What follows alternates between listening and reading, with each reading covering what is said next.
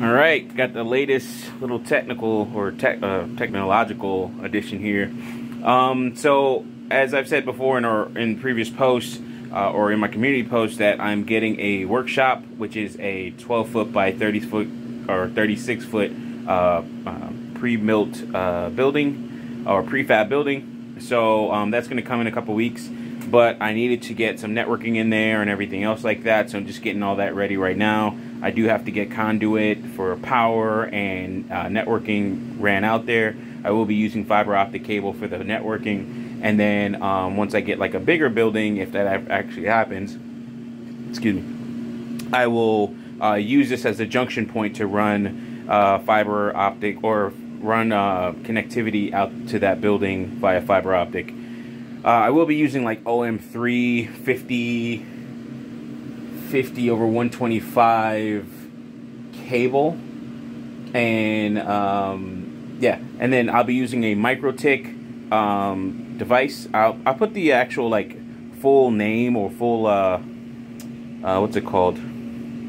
Sorry I'm like short on words. I just like decided to record um, but I'll put the full uh, model number and everything like that for this uh, switch it actually does, it's MikroTik so M-I-K uh, M-I-K R-O-T-I-K.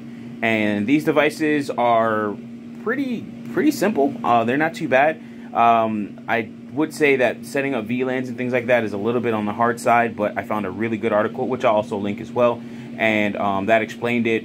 Worked for first time. I did have to do one or two things, uh, or one thing on my uh, my uh, my Cisco Nexus switch to make it work because it was actually doing um, uh, blocking because of STP. Uh, so instead of doing like spanning tree port fast um, network uh, or spanning tree, yeah, spanning tree network. That means like you know it's a network trunk on the other, or that's a that's a trunking port, but you want it to come up fast.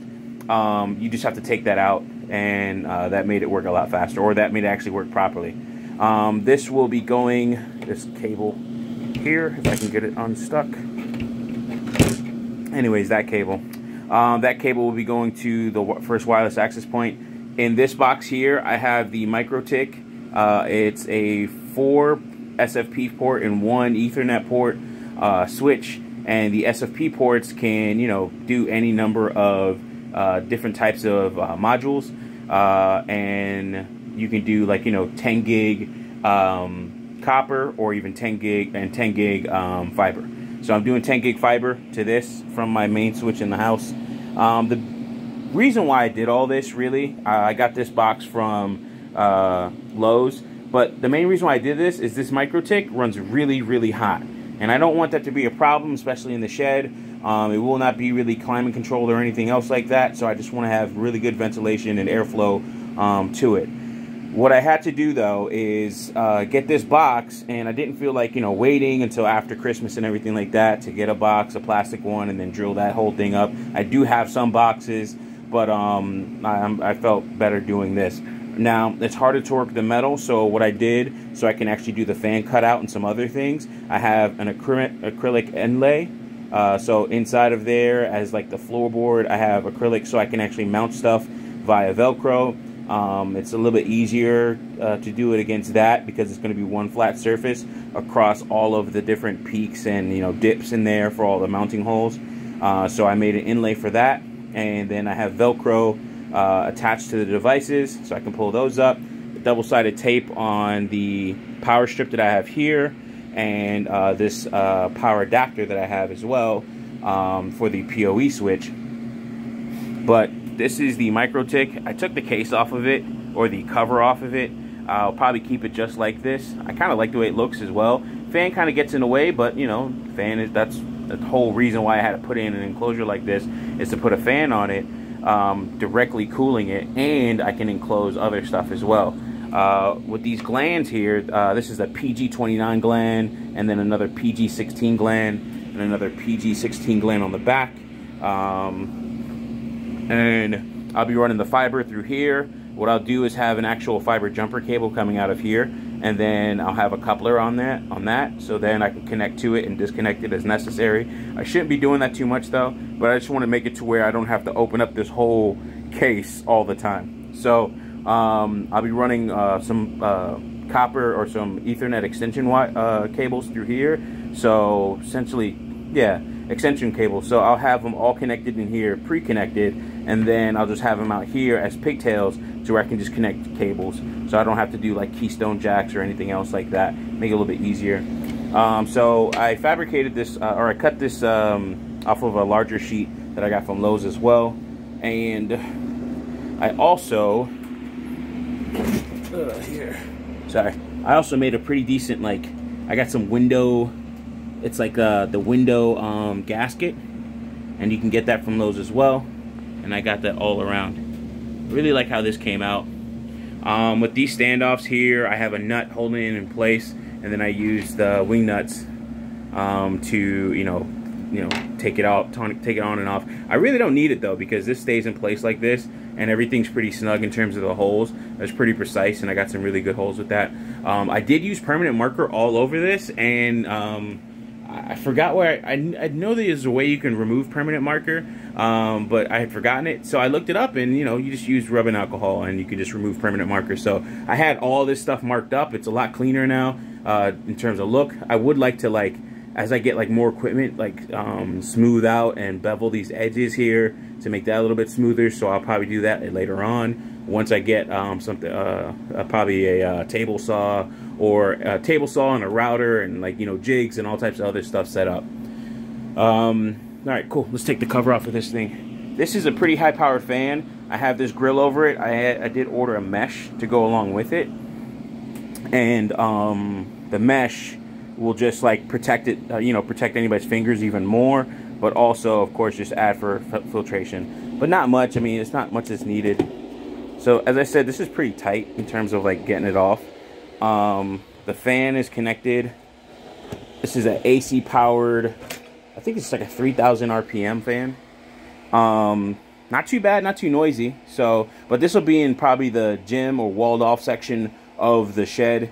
So um, that should be good. And while I'm doing construction and stuff and putting all this stuff in, um, I can actually still have network connectivity and everything. I got another wireless access point that I just found out of nowhere it's like I, I, I collected all these wireless access points for this very project of me like you know getting a house and put I have like four access points in the house now and then I'll have another one in the workshop which would be great. And then I also ordered another one for my patio so I can get wireless access out to my lake. So like I'm freaking I'm probably gonna have this whole co property covered for wireless access. So that'd be really good. Um this connection here this is this like this is the this is a PoE uh, and management port. So I just have it actually used as a switch port now. And that connects to the PoE switch here and to one of its uplink ports over there. And it's the only way I can get it to work because in terms of if you use like the copper um, SFPs in here, um, they just don't work too well in terms of, uh, unless you like, unless it's like a, a, smart switch on the other end where you can control um, duplex and speed um, they're going to have a problem to go if even if it's auto neg or if you say hey listen 10 meg 100 meg gig 10 gig like if you set it like it won't work properly with the MikroTik now um, I'm sure there's ways you can fix that but I was just like you know what I'm not going to use this for a management port or anything like that everything will be on this uh, trunking port here and uh, then I'll have another port here. I don't think I'll actually be using these two other ports. I just want 10 gig connectivity. I might actually use one port, actually, now that I think about it, to maybe a workstation or something like that that I'll have in the uh, workshop itself, just so I can actually have that. Um, then I'll have like full wire connectivity. Um, and it might be to like a docking station or something like that, but not to like the computer itself, because I think I'm just going to be using my Surface tablet um, so I can move around and you know, have the same computer from one station to the next. So that'll be really nice. Um, yeah, so here uh, I made, I terminated this cable here, or cut it short, I should say. And um, this cable goes to, where does this go? I forgot. Oh, okay, so this cable uh, is for this uh, this AC, uh, AC to DC power adapter. Um, and I just, you know, cut off some of the length some of the other stuff I just rolled up because I didn't want to remake or re, like redo cables. So I was able to get that neatly tucked in there. Um, this right here, this is uh, I think it's like a 24 or 12 volt, 2 amp um, power supply or DC power supply or AC to DC power supply, and that powers this MikroTik device here. This right here um, just powers the fan. So I really only have I only have three things in here, and this right here takes up this whole. Um, with everything the way it is now, takes up this whole like I only have maybe one plug left, right there. uh, also made an, my own end here for um, the because if I was gonna fit it through the gland, I had to cut the cable, of course, because I didn't want to put it like through a huge hole and then just have a gland like that be this big for a small cable like that. So cut the cable, custom uh, custom length, and I was able to um, uh, what's it called? I was able to get a right angle uh, plug or head there, so that's really good.